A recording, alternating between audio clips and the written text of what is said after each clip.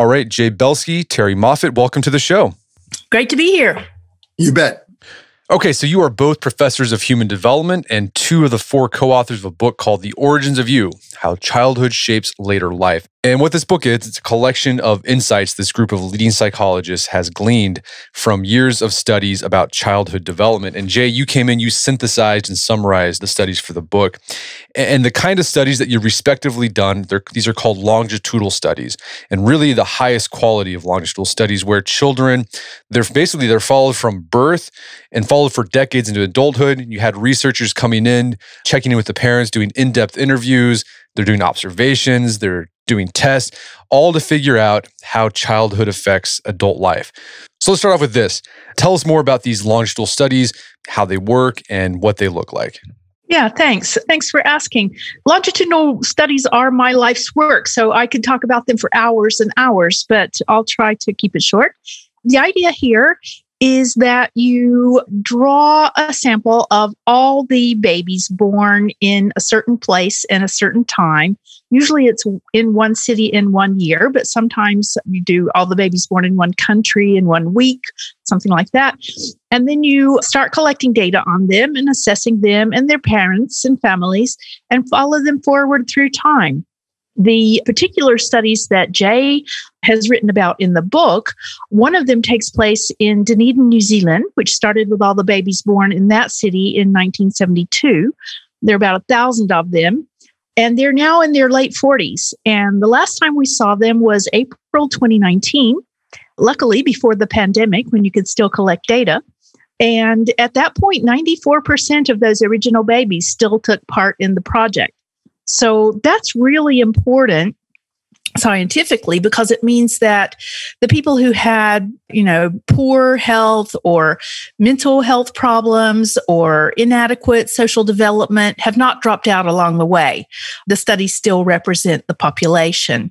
The other ones one of them was the NICHD National Institute of Child Health and Development child care study and that was a longitudinal study of children at the beginning of life with the major focus on recording all of the time that they spent in childcare and measuring the quality of that childcare to see how that major influence on their life panned out. And those children have now been followed. How long, Jay? How old are they? Our funding was cut off at age 15. So we followed them intensively from birth to age 15. Okay. And so what Jay just mentioned is that all of the success of this kind of endeavor does really depend a lot on funding because nobody ever makes a commitment to fund a study for five decades.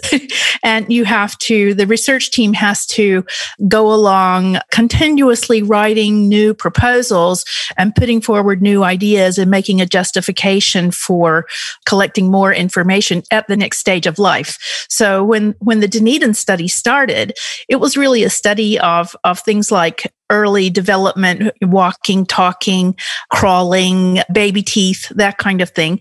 And now we're having to make the case for studying things like menopause and heart attacks.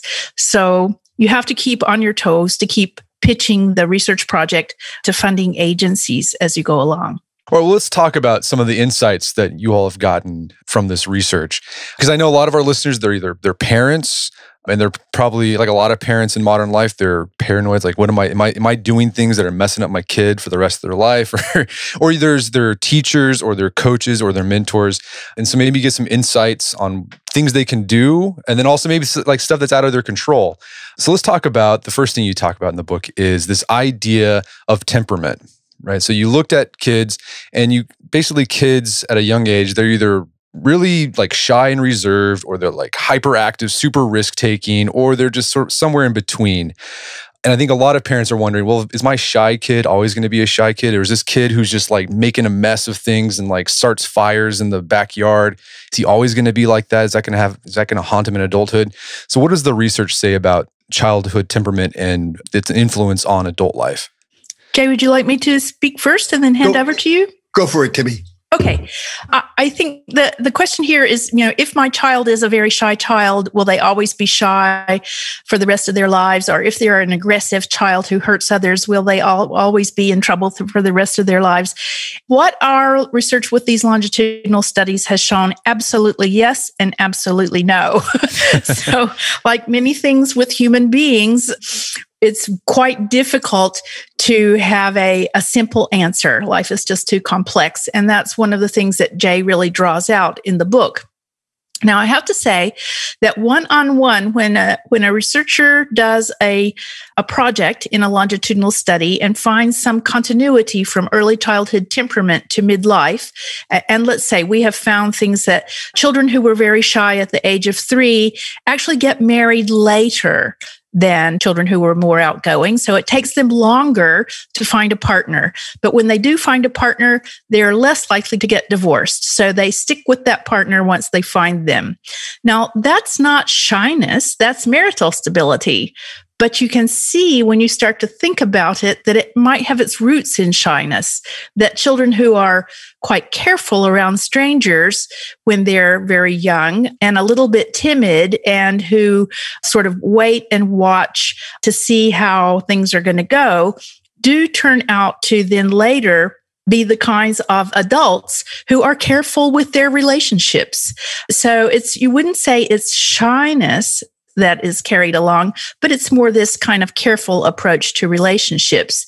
And developmental psychologists call that heterotypic continuity, which is kind of a big phrase, but what it actually means is that the relationship between childhood and adulthood doesn't need to be absolutely one to one, shy to shy, or aggressive to aggressive, but you can see the, in the adult behavior, you can see the roots of the childhood temperament. Does that make sense? That makes sense. Yeah. I mean, you want to talk about the other end of the distribution, the, you know, out of control, acting out kids early on and their legacies? Yes, yes. So one some of the research that we've done, in particular in the Dunedin study, and also now in the E-Risk study in, in Britain, the two longitudinal studies we have, is following children who were very aggressive and to see how they turn out in adult life. And here's what happens. You have a lot of children who are sort of out of control when they're little and they have dif- little boys who have difficulty adjusting to first grade. That kind of thing is absolutely normal. But what we're looking at is when a child is aggressive and badly behaved across situations at home, at school, in the neighborhood, according to their preschool teacher, their first grade teacher, second grade teacher, third grade teacher, fourth grade teacher, their mother, when interviewed repeatedly, their friends. Everyone agrees that this child is um, aggressive and badly behaved, and they sustain it over many years of childhood that kind of a beginning has turned out to be bad news for adulthood. So those young people tend to go through adolescence, getting involved in juvenile delinquency, adolescence is a time when a lot of kids break the law. That's perfectly normal. But these kids who started out aggression when they were two or three years old and, and continued it right through primary school, according to all reporters, end up being the more physically aggressive. They're comfortable with solving social problems using violence. And then when they get into adulthood, they've burnt a lot of bridges. Uh, they don't have friends. They've probably dropped out of school. So they don't have many alternative to alternatives to crime. And they tend to have also damaged the relationships with their family. So they find themselves in young adulthood sort of at wits end and an antisocial lifestyle seems appealing to them. And it continues on. And then in their 30s and 40s, it becomes worse and it spreads into all areas of life. And they commit crimes at work, embezzle money, show up at work intoxicated. They get involved in domestic violence with their partners. And so they, they really have a lot of very bad outcomes. I have to caution though and say this is a very small group of mainly males. So we're talking about under 5% of little boys who would take this pathway. And let me just build on what Temi said here, because I was intrigued that Temi was talking about preschool and second grade and third grade and fourth grade and described it as early. From the standpoint of the entire life, it is early. But we have to appreciate is that when the Dunedin people study first started characterizing both these timid, inhibited, and these, you know, would be antisocial children, it was at three years of age. So it really is what Temi's describing, just to amplify somewhat, early and continuous development along the same track that becomes the forecast for similar functioning in the future.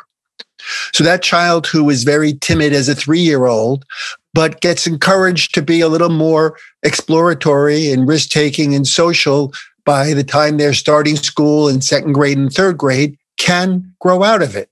And by the same token, many of those children, or at least some of them, who start out with those difficult personalities or difficult temperaments, if they get support and encouragement and consistent discipline that's not too harsh um, and is proportionate to the quote childhood misdeeds they commit, they can grow out of it too. So we have to see the child's continuing development within the context that he, he or she is growing up.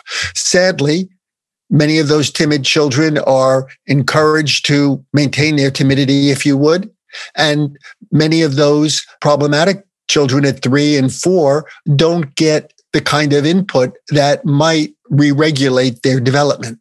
Right. So I think an interesting point you made is the development of temperament. There's a like a multi-process going on, and one of them is like the reactive process. Right. When a, a child acts out or acts timid, like the adults around them respond to that, and that response like actually exacerbates or could exacerbate the timidity or the aggressiveness. That's exactly right. That's what one of the authors, Avshalom Caspi, nicely wrote about, you know, in this book and elsewhere, which is called an evocative effect. But there's also an appreciation that the child is a producer of its own development. So, you know, the the aggressive child might seek out other children who are aggressive or maybe victims, and in then and in that sense, keep producing the same behavior. So it's both the feedback you get from the world and the world you create for yourself that become forces that either maintain who you are or alternatively, if you're doing opposite things, can change who you are. So it sounds like most kids, like their temperament is somewhere in the middle between extreme timidity and extreme aggressiveness. And the outliers, those are outliers. And for the outliers, there's possible to intervene, but does it sound like it has to be kind of, it has to be relatively early for there to be a good chance of having an effect? Oh, you know, there has been a real push in the last 10 years towards early years interventions. And I think it's important to keep those in, in the context of that before that, the alternative was that you didn't really intervene with an aggressive child until they broke the law, got, uh, you know, got identified by the police, press charges, and, and go to jail. And obviously that was years too late. Or you didn't really intervene with the child who was failing to learn to read until they were around fourth grade and having difficulty making that transition to junior high school. And we know that's, we now know that's way too late. So there's been a, there's always swings and roundabouts in behavioral science. And in the past 10 years, there's been a swing toward we must intervene earlier. That's absolutely true. Nobody would disagree with it. But that's not the same thing as saying, and it's hopeless if you intervene late there is a kind of a snowball effect that if a child is having difficulties in very early life, and we don't intervene, then those difficulties can bring on more difficulties. Let's take a child who has attention deficit hyperactivity disorder, and they're very, very overactive and sort of under controlled. And because of that, they lose friends. And so while we're taking a wait and see attitude to see whether, you know, how this was going to go, in the meantime, they've lost a lot of friends and they've lost a lot of time on their educational building blocks as well. So if we wait until they're, say, 10 or 11 years old to start considering whether to treat their ADHD, there may be some bridges burned for that child. Whereas if we had done earlier intervention, the child might have ended up with better reading and more friends at school and been happier at school. So undeniably early intervention can prevent this kind of snowball effect where one simple small problem grows into several very big problems and becomes harder and harder to change but we've also shown incidents where in our longitudinal studies where if young people who had poor self control made it through high school without getting addicted to anything and without getting pregnant and without dropping out of high school, that their lives can be turned around. So that's suggesting that age 17, 18 is not too late. It just, it all depends upon the kinds of interventions that you want to attempt and whether they're naturalistic ones or ones that are imposed. Well, you mentioned self control. That was another thing you looked at. And I think by now, a lot of people have heard about the marshmallow test, right? That mm-hmm. you do this test on this guy, I forgot who it was, you know, did the test. Uh, the kids put in a room with a marshmallow. If they're able to like control themselves and not eat the marshmallow, they get like three marshmallows. And so now parents like, well, I got to teach my kid self control and because that'll help them because and then they followed them and said well if you have self-control as a kid you'll have more self-control as adult is that what your longitudinal studies found as well Definitely so. I'm a big fan of the marshmallow test. I think it's it's so much fun, and I know a lot of of uh, parents now are sort of trying it out on their children when they're around two or three years old. They spring them on cookies or marshmallows and see what they do. We need to keep in mind that that test was only ever one sample of one behavior on one day. And it's well known that every child has a bad day now and then, or just isn't feeling well, or is a bit cranky. There's a lot of reasons why a child might fail the marshmallow test on one day, and it doesn't have to have any repercussions for the rest of their lives.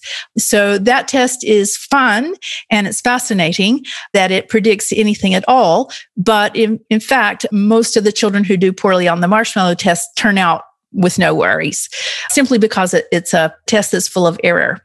What we've done in our longitudinal studies sort of contrasts with that a bit, and that is again, we have used all of the data sources that we have the mothers, the teachers, the research workers, even the children themselves, interviewed these people over and over and over every year about the child's self control style. So when when I talk about a child who has good self-control or poor self-control, that means that it was that style was sustained over the first decade of life and that everyone agreed that that was the child's style the mothers, the teachers, the research workers, and so forth. With that type of measurement of self control, we do get continuities right up into their late 40s in the Dunedin study. So, what we're finding now is that the children who had the best self control when they were three year olds and five year olds now have the most assets, they have the most highly skilled occupations, they have the fewest fewest health problems. They are the least likely to be addicted to anything like tobacco or alcohol or cannabis. They have slower aging. So we're able to measure their pace of aging by tracking biomarkers over 20 years. And the children who had the best self control in very early life are actually biologically younger today than their peers. And that's pretty remarkable over five decades of following people. You know, what we should also pay careful attention to here was not just as Timmy's talked about, which is the consequences of early self control or the lack thereof, but its determinants. Because one of the things we tend to do when we only look at a child's behavior, and especially when it predicts later on problematic things, is we risk blaming the victim.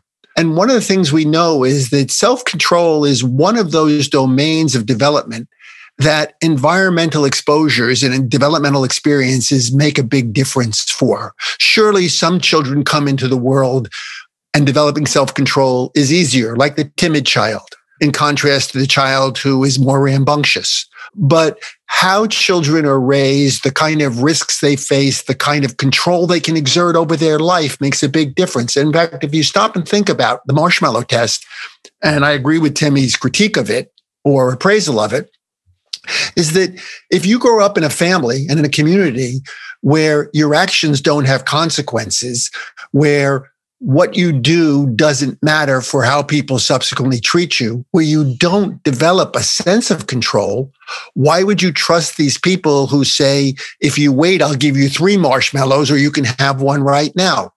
In other words, being out of control is often something that's developmentally manufactured, not necessarily something that's inborn. Another point you make in the book that I thought was interesting is that yes, self control from that first decade, so ages one to 10, matters. But what can have more effect is what the self control looks like in the second decade of life, 10 to 20. Because as you, I think one of you alluded to, that's when addictions could start, that's when crime can start, and that can have more of an impact on your 30s and 40s. Yeah, we did a paper on on what we call just uh, teenagers' mistakes. And look, this is kind of me search because I made a lot of those mistakes when I was that age. So I didn't need a fancy psychological theory to help me generate these hypotheses.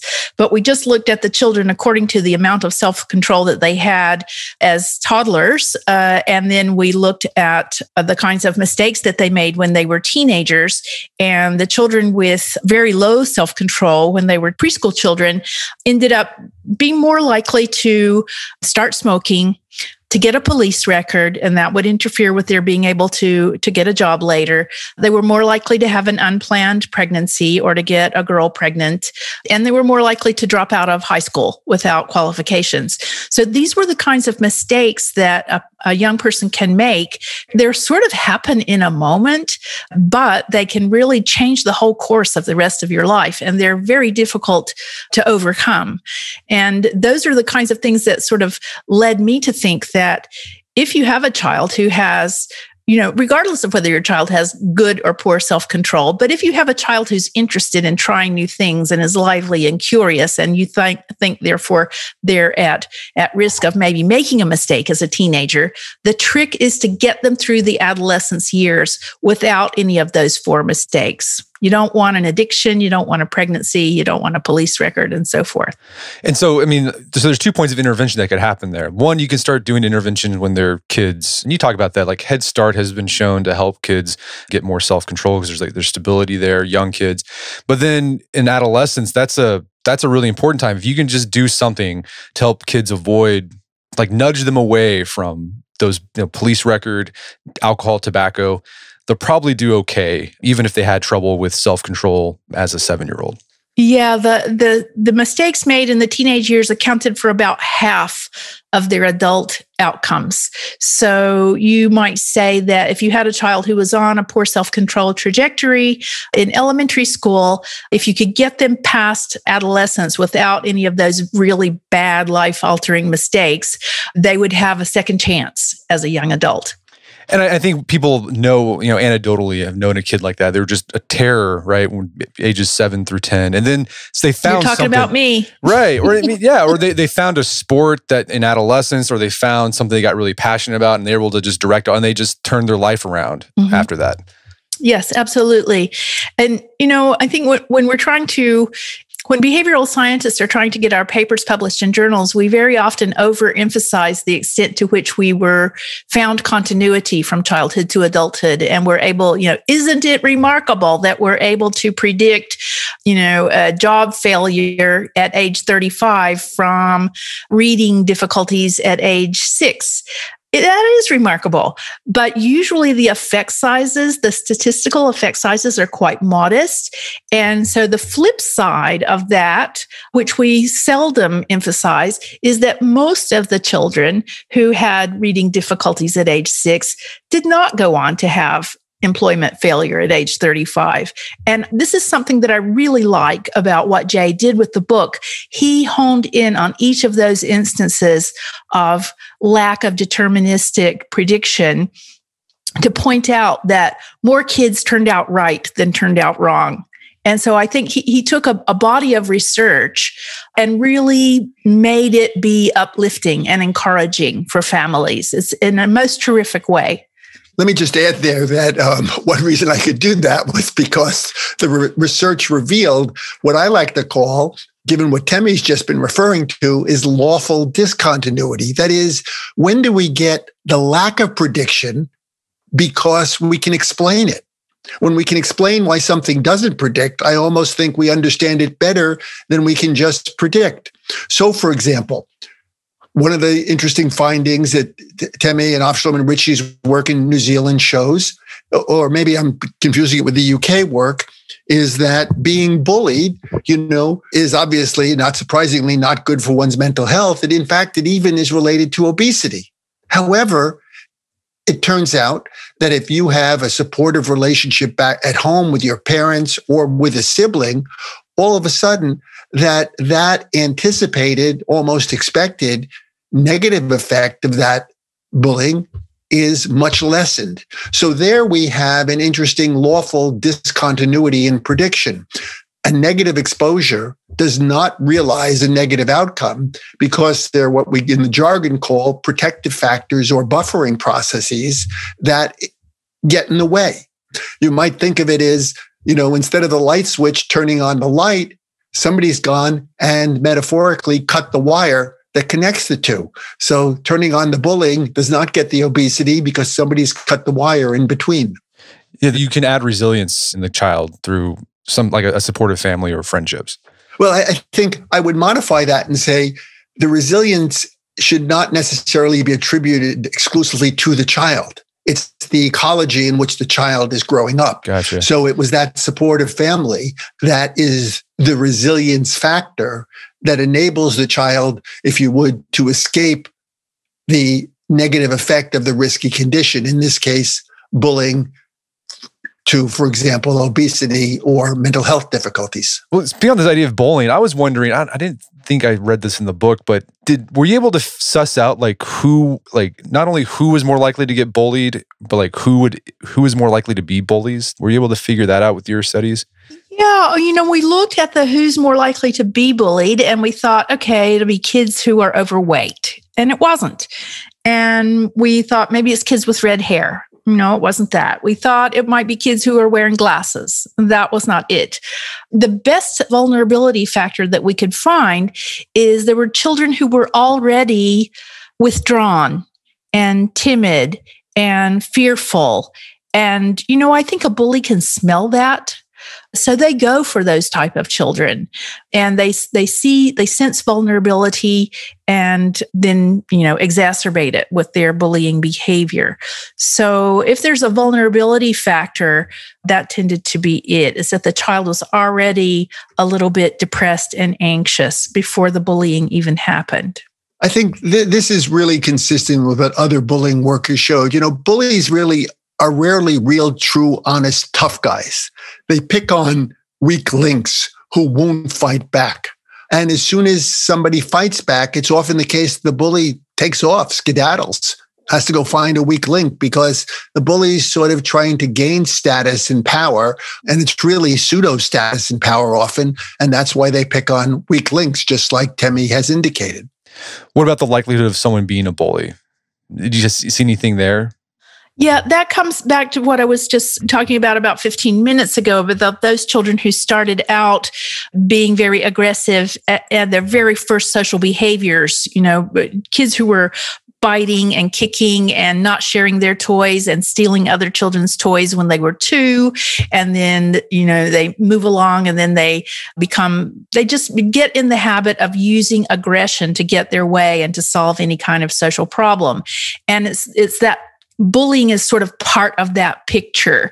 So when we think of the, the symptoms of conduct disorder, they include lying and cheating and stealing and running away from home and breaking rules, but they also include being cruel to others and exploiting the weakness of others. So bullying, I think, is part of the overall picture of a child who has uh, conduct problems. Well, and going back to this idea, I mean, of troubled kids, people who kids who are having like aggression problems. Oftentimes they're boys, mm-hmm. and there's been a lot of ink spilled about the problem with boys today. Lots of you know, either either they're just like disengaged or not interested or just lazy, or they're hyper aggressive, et cetera, et cetera. And I know a lot of parents, you know, there might be parents of teenagers and they see their kid, teenage boys doing really stupid stuff, maybe even getting involved with, you know, breaking the law and they're like, man, my kid's gonna, this is what's gonna happen. But what's interesting, you, your studies found that you know, sometimes you don't like, yeah, it's bad. They got, they had a run in with the law. They're doing this dumb stuff, but they're probably gonna be okay as long as that they're acting up just happened in adolescence. Yeah, that's right. We we found that if you know if a child is going to have a a poor adulthood with an antisocial lifestyle, it's almost always that started before they started school. So then there's another kind of a kid who gets involved with a little bit of delinquency and some testing the limits and, you know, uh, drinking too much with peers and maybe having, you know, a car crash or something like that. That kind of thing is more like normative, normal adolescence kids who get involved with that kind of thing, it's a good way to break the apron strings. It's a good way to prove to the other kids that you're not a mama's boy anymore. You know, go out with some friends and get into a little bit of trouble. But it because they had good performance at school, decent grades, and warm relationships with their families beforehand, before they, they hit that crazy period of adolescence, they tend to be able to pull out of that again. They've got what it takes to have good, warm relationships when they become an adult. They've got what it takes to achieve in life and go on and, and finish their educations and, and succeed in the labor market.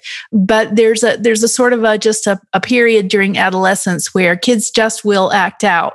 And I don't think we should make too much of it a lot of my research has been um, following kids through this adolescent period and pointing out that the vast majority of kids who break the law are not destined to be lifetime criminal offenders. They're just having a little too much fun. And therefore, that suggests that policing and juvenile justice system policies should take this into account. So, you know, our, our juvenile justice system was set up on the notion that you should just identify on the basis of the current crime and choose the punishment to fit the crime. But in fact, if you look developmentally back at the history of the child, you can differentiate between a child who has been doing everything wrong from the outset versus a child who has just recently kind of gone off the rails and made a bad mistake. And so now more and more justice systems have these policies in place and are, are working really hard in the courts and in the community policing as well uh, to differentiate, differentiate between these two kinds of kids and really divert those kids who have a good future ahead of them away from criminal charges, away from a criminal record, away from the courts, and certainly away from prison. So I think it's a real step forward in how we do juvenile justice. Well, one of the longitudinal studies you, were all taking part in or looked at here was daycare, kids in daycare, and like the effect daycare had on them later on in life. I know a lot of parents when they start when they have kids and they got to go back to work, that's something that they start they kind of fret about, wring their hands, like, oh, what's going to happen if we put our kid in daycare? Is it going to like affect them? What does the research say? Well, I think it, in order to understand the research, we have to put it once again in context, or at least development in context. We live in a society here in America, in contrast, let's say, to a place like Norway, where I've also done some daycare research, where we don't really have a child care system. It's up to every parent to figure out this problem for themselves. While we have paid parental leave for somewhat in California, we don't have it in other places. And so that's the first thing to consider. The second thing to consider is over the last 30, 40 years, a major change has taken place in how non poor Americans raise their children. And that is that if a child is going to be in a non parental care arrangement, be it family daycare or a daycare center or even a nanny, when they're four years of age, it's because they started in the first year of life, in the first six months of life. So we end up with a population of children who are getting some kind of non familial care from the time they're three, four, five, six months of age until they start school. That is quite a different experience than certainly when I grew up or even the immediate generation thereafter. What we found in the eh, when we started the large scale American daycare study, the mantra among daycare advocates and progressives for the most part was that it's quality stupid. That is to say, as long as the quality of care was good, everything was fine and dandy. And by quality, we meant that the caregivers were attentive, responsive, stimulating, affectionate, the kind of care you'd want for your children.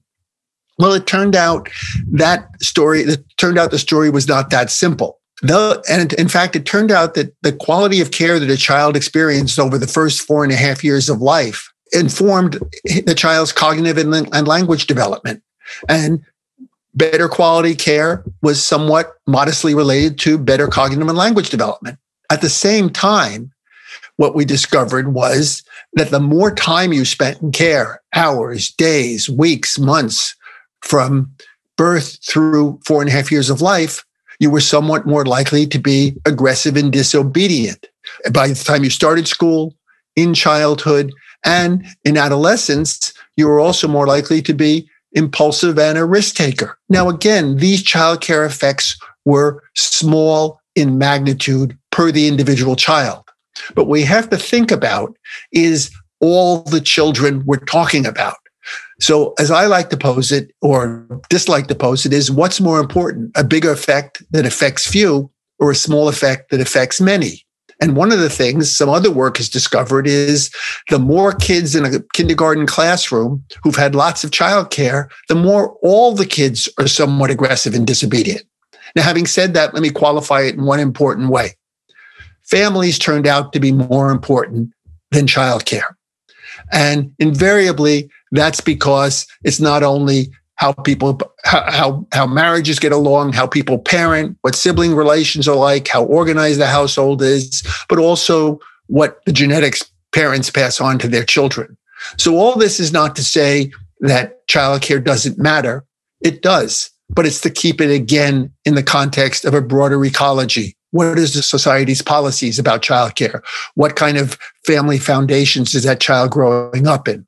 And intriguingly, when we go to Norway, where children don't have any child care other than family care for their first year of life and thereafter, almost all of them go into high quality center based care where caregivers receive a, a, decent wage and have training. We don't see these negative outcomes of childcare anyplace like we see in America. So we don't want to come to the conclusion that daycare and the separation of children from parents inevitably leads to something. Rather, we need to appreciate that in the current context and the continuing context that we have here in America, that's a, then it's a different story. And here we see both good news, good quality care is good for children's cognitive and language development, and bad news, lots of time in care, which has become normative, seems to undermine, broadly speaking, self control to some extent. Okay, so let's summarize things here a little bit. The reason there's a negative effect in the form of increased aggressiveness, disobedience, when you look at childcare in the US, is that American parents are more likely to put their babies into daycare or childcare right after they're born. Whereas in Norway, you don't see that problem because there the parents get a year of parental leave so the kids aren't going to daycare for at least a year they can put it off some so it seems like starting later spending less overall time in daycare mitigates possible negative effects of daycare. But another takeaway from your research, too, was that if you have to put your kid into daycare, having a supportive family life can also mitigate possible negative effects, too. So, yes, if, if you can secure good quality care, or even if it's not the best quality care, and you're going to get a lot of support for the children at home, I wouldn't say don't do it. But I think we have to come back and think about this from a collective societal level. And that even if these children are only becoming a little bit more aggressive and disobedient. What happens when you're a teacher with 20 kids in a classroom and instead of having two or three of them a little more aggressive and disobedient, you have six or seven of them? And in fact, what the evidence is beginning to show is that even affects the kids who've had little daycare. It's almost like you have a kind of behavioral infection that spreads. I don't want to be catastrophic or hyperbolic about this, but I want to get us thinking about not just effects at the individual, on the individual, but effects on many individuals. And then we put all these individuals together in classrooms and schools and neighborhoods and the like. In in your research, did you also looked at genetics a bit? How did genetics influence these outcomes in these longitudinal studies? We some of the work that we did was actually quite celebrated at the time. This was around the year 2000, 2002, 2003. We published papers that identified a, a specific gene. So one of those was the MAOA gene, which was thought to be in mice a risk factor for uh, aggression, and the serotonin transporter gene, which was thought in humans to be a risk factor for depression. So we looked at those two, and what we found is that those genes didn't have much of any association with the study members' outcomes unless the study members were experiencing an adverse home environment or life environment. So the children who had the MAOA gene that was supposed to be at risk for aggression, unless they were exposed to a lot of maltreatment and harsh physical discipline, it wasn't really related to their behavior. It seemed that more like these genes worked in terms of being determining sensitivity to the environment. Now, I have to put out a cautionary note there is that in the, at that time between 1996 and 2003 when we were doing that work one could only study one gene at the time that was all the technology allowed and then soon after there the, that the genome wide association study methods became available and affordable to scientists. And so the field has moved right away from studying one gene at the time. And, and if you think about it, that was always a kind of a weak approach, but it was the best that we had. It's implausible that one gene could control very much of human behavior, but that was all we could do at that time. And we wanted to get into the, uh, you know, measured, the business of studying measured genes. So we got our feet wet. But those findings were very interesting from the point of view that they attracted a lot of public attention then and were uh, celebrated in the media. They were published in the journal Science, which is a very prestigious and discerning journal.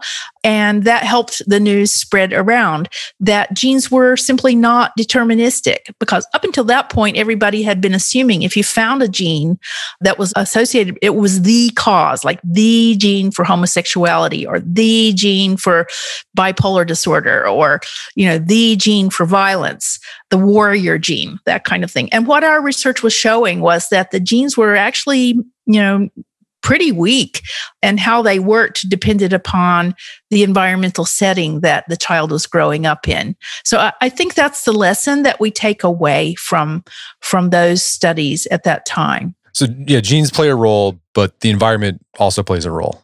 Let me just add that this is exactly the theme we've been expressing throughout this that knowing about the child's behavior or the child other child characteristics in this case genetics the meaning and the importance or the influence of those of those char- personal characteristics are going, to, are going to depend upon the context in which that in which that child grows up. The gene for X, Y, and Z will not yield X, Y, and Z usually if the environment doesn't sustain the expression of X, Y, and Z. Terrie and I have a friend who wrote a great book about the biological determinants of crime, and he's not a criminal Yet, as he points out in his book, he meets almost, he repeatedly meets criteria for having biological factors that dispose one toward crime.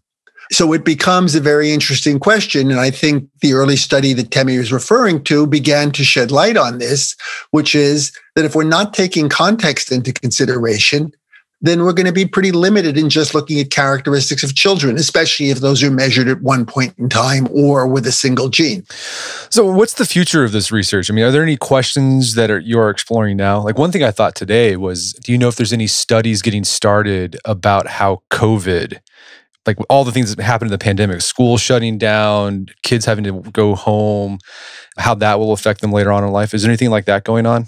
Yeah, yeah, there's lots. And in fact, when when we get off of this Zoom call, I'm going to be having one with the uh, Canadian longitudinal study of all the children growing up in Western Canada, which has done just that. We've been madly collecting data on how the family's experience of COVID has been and how it's affecting uh, the children's adjustment. So yes, there uh, there's been quite a scramble to collect data on this. And as you may imagine, it's pretty complicated. You got to do it fast. You got to get in there. It's a time when people are stressed and uncomfortable. The last thing they want to be doing is talking to a researcher.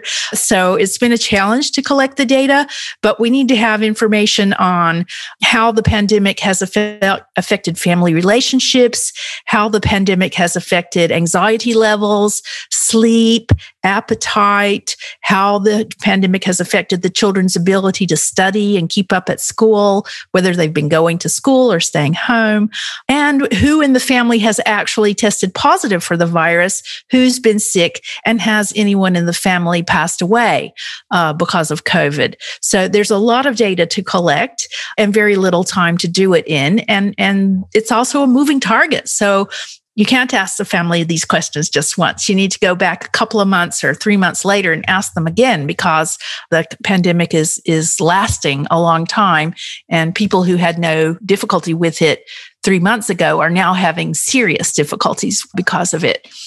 And we're starting to see some fascinating findings, and there'll be more.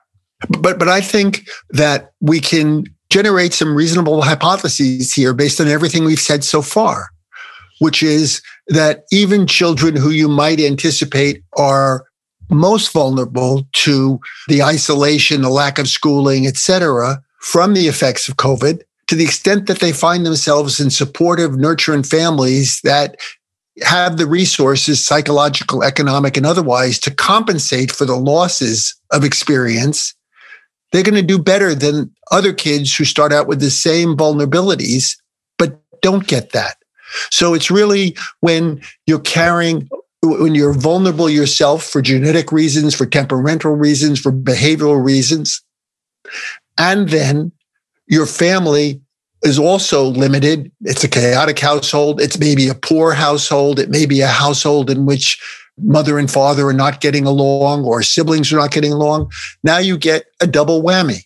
And so again, the moral of the story is look at the child's development in the context of who he or she is as a biological and a behavioral organism, and in the context of the world that child is living in. In this case, it's going to be often a sheltering in place family. So, Brett, can I can I turn things around and ask you a question? Sure. Yeah, go ahead. Yeah, how did you pick this book? I just I came across it. I don't know how I come across it. I just come, I'm always on the prowl for books, and I just I'm very interested in how. I'm first off I'm interested in logical studies. Like I've read the book about the Grant study uh, and found that fascinating, and then I'm also as a parent got two young kids. I'm always maybe I'm and I'm always maybe I'm being too paranoid about or too neurotic. Like what can I do? like yeah, I'm like am I screwing my kid up? And whenever I read these books it's kind of comforting because it's like, no, you're probably not. Uh, you're you're you're doing okay, and that's what I got from this. I'd say that's a, that's a very true message. Was there any particular chapter or finding in the book that that you liked best or that resonated with you? Well, uh, actually, the the section about self control was really good, and we actually, so my family every week we have like a, a, family a family meeting night where we start off like we go talk about what's going on in our schedules, get that synced up, and then we also share like a short like message, and we I did the message about self control, and I had the kids uh, read the the William Wordsworth poem yeah. Child and like ask what does that mean? You know the child is father of the man. And it was really sick. My kids you know my son is 10 my daughter scout she's seven. And i was really surprised like they got it. Like they understood what this romantic poet was getting at like what they're what what happens to him as a child as a kid can have uh, influence as you know basically they said i'm raised like my son said like there's i'm raising my my future self. And i'm like that's really kid. gorgeous like, you got it and it was it was fun. Yeah, the fact that you're having family meetings, I too, too answers the question of you know, are you doing anything wrong? No, you're not. Right.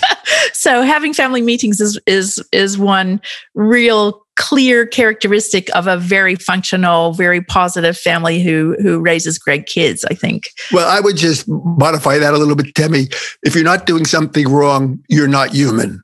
You know, you, you don't have to bat a thousand to raise kids well you just you know I, I sometimes think that the reason americans like baseball is because 300 is a really good batting average. Um, and the idea you have to get it all right to do well to win so to speak is really one of you know it's the perfectionist dilemma. So i would say i would agree with Terrie that a family meeting is a good indication of a well structured organized household, but I'm sure you're not doing everything right and don't expect to. Right. No. No, definitely. Yeah, not. I remember when we first did the the paper on self control, and it came out in the proceedings of the National Academy of Sciences, and quite a few journalists were uh, contacting me and asking me, "Well, what do you do to foster self control in a child?" And, and, I don't have any children, so what do I know? So I'm calling up Jay and going, "Jay, tell me what to say." And he said, "Well, something that families could do." Is instead of just giving a kid their allowance and just, you know, giving them the money, handing them the money, you could have a family meeting and you could try to anticipate all the things that are going to happen during the week that they could spend that money on and have them choose which ones are the most important to them so that, you know, so they won't end up at the end of the week having the most fun and exciting thing, but they're already out of money. So just, just planning how to spend one's allowance with your dad is turns out to be the best training in self control. And I, I have never forgotten that. No, yeah, we've done that with Mike. We give my kids allowance once a week, but I also started a savings account for them. And I, I, said, I give them the money, like it's cash, and like, all right, you can either keep this and you can spend it however you want, or you can put in your savings account. What would you like to do? And at first, they're like, I'm going to spend it. But then they quickly realized, ah, I played with this Lego for two nights, then I'm done with it. So now they've become savers they're they're little Warren Buffetts now. Let me make a suggestion to modify that a bit, and, and if you want to, is and I've thought about this as a teenage pregnancy prevention strategy, which is let's say you give your kid two dollars, okay. You can say, well, two dollars. Nobody gives their kid two dollars anymore. Two dollars doesn't go anywhere. So you have my age here sixty-eight. But be that as it may, let's say you give your kid two dollars. You can say, you know, that's yours to spend but everything you put in up to a dollar in a savings account, I'll match it. So now, and, and what you're doing is inducing consideration of the future. And this is where it comes back to the fact that, you know, often kids who grow up without self control are never given the opportunity to acquire control. Actions don't have consequences. They're not structured to provide, the family's not structured to provide planning. So why would you, you know, delay gratification as the marshmallow test for something that's promised later on versus something to get right now if promises haven't been kept? If when you followed the rules, you haven't gotten the payoffs. So I think a Warren Buffett, the strategy would be you get $2 up to a dollar, you put it in your savings account, I'll match it because now you've got a $3 allowance, not a $2 allowance. Yeah. Yeah. Start the 401k matching early. Yeah. well, Terrie J, this has been a great conversation. Thanks for your time. It's been a pleasure. Yeah. Thank you. I've loved it. Thanks so much for inviting us. My guests today were Terrie Moffitt and Jay Belsky. They are the co-authors of a book called The Origins of You, How Childhood Shapes Later Life. It's available on Amazon.com and bookstores everywhere. You can also check out our show notes at aom.is slash childhood, where you can find links to resources where you can delve deeper into this topic.